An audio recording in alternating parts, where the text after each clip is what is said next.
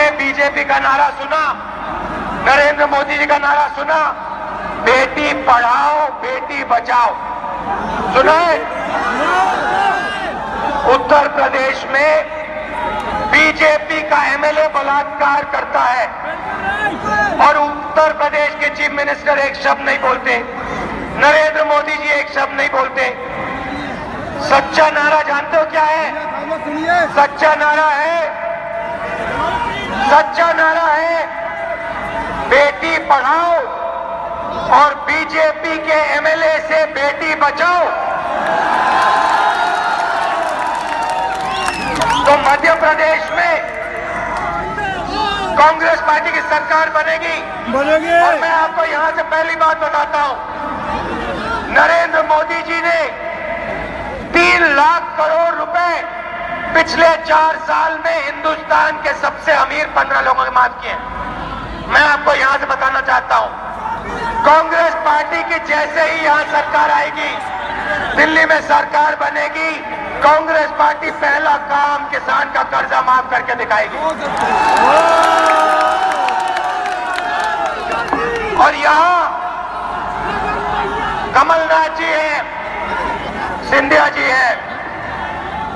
देखिए हिंदुस्तान के सामने सबसे बड़ी चुनौती, मध्य प्रदेश के सामने सबसे बड़ी चुनौती चुनौती युवाओं को रोज़गार देने। युवाओं को रोज़गार दिलवाना। आज मोबाइल फ़ोन देखो, शर्ट के पीछे देखो, जूते के नीचे देखो। मेड इन चाइना शब्द दिखाई देते हैं। हम चाहते हैं कांग्रेस पार्टी की सरकार आने के बाद जो आज चाइना में बनता है, वो मध्य प्रदेश में, जबलपुर में, बाकी प्रदेशों में बने। हम चाहते हैं, हम चाहते हैं कि आपके टेलीफोन के पीछे मेड इन जबलपुर लिखा हो मेड इन मध्य प्रदेश लिखा हो और मध्य प्रदेश के युवाओं को उन फैक्ट्री में रोज़गार मिलेगी। ये काम सिर्फ़ कांग्रेस पार्टी कर सकती है। नरेंद्र मोदी जी ने make in India startup India Swachh Bharat साढ़े चार साल हिंदुस्तान का बर्बाद कर दिया है। तो हम आपको बताना चाहते हैं कि हमारा पूरा का पूरा दम कमलनाथ जी, सिंधिया जी 24 घंटे लगाएँगे मध्य प्रदेश को इनके युवाओं को रोज़गार दिलवाने के लिए। राहुल गांधी जनता को। हम हरी क्रांति लाए। सफ़ेद क्रांति लाए। टेलीफोन रेवोल्यूशन लाए। कंप्यूटर रेवोल्यूशन लाए। और मैं आपको यहाँ से बता रहा हूँ कि कांग्रेस पार्टी रोज़गार दिलवा सकती है मध्य प्रदेश के युवाओं को। हिंदुस्तान के युवाओं को रोज़गार दिला सकती है। और जो युवा सुन रहे हैं आप अच्छी तरह सुनो। आपके प्रधानमंत्री ने नरेंद्र मोदी जी ने शिवराज चौहान जी ने आपको रोज़गार देने का वायदा किया था। और उस वायदे को शिवराज जी ने और नरेंद्र मोदी जी ने तोड़ा।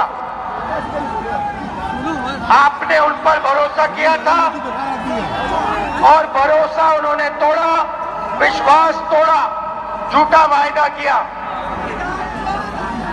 अब आप कांग्रेस पार्टी पे भरोसा कीजिए। आप देखिए, हम आपसे झूठे वायदे नहीं करेंगे। झूठे वायदे सुनने हैं, जाइए, मोदी जी की सभा में जाइए। पंद्रह लाख, बीस लाख, पचास लाख का वायदा हम आपसे सच बोलेंगे। जितना भी हम में दम है, उतना दम हम युवाओं को रोज़गार दिलाने में, किसानों की मदद करने में। जीएसटी जो है गब्बर सिंह टैक्स पाँच पाँच अलग टैक्स। अभी हम यहाँ से निकले। दुका छोटे दुकानदारों की ज़िंदगी नरेंद्र मोदी जी ने शिवराज चौहान जी ने जीएसटी और नोटबंदी से कर दी। और मैं आपको आश्वासन देना चाहता हूँ, जो छोटे दुकानदार small and medium business small and medium व्यापारी जो स्पीच को सुन रहे हैं, मैं आपको आश्वासन देना चाहता हूँ, दिल्ली में कांग्रेस पार्टी की सरकार आएगी जीएसटी गब्बर सिंह टैक्स को बदल के हम सच्ची जीएसटी आपको देंगे। कांग्रेस पार्टी के कार्यकर्ता, आप में शक्ति है मध्य प्रदेश के युवाओं, आप पे शक्ति है। अब इनको हटाइए, कांग्रेस पार्टी की सरकार लाइए और प्रदेश को, देश को बदलने का काम शुरू करने दीजिए। दिल से धन्यवाद। नमस्कार, जय हिंद।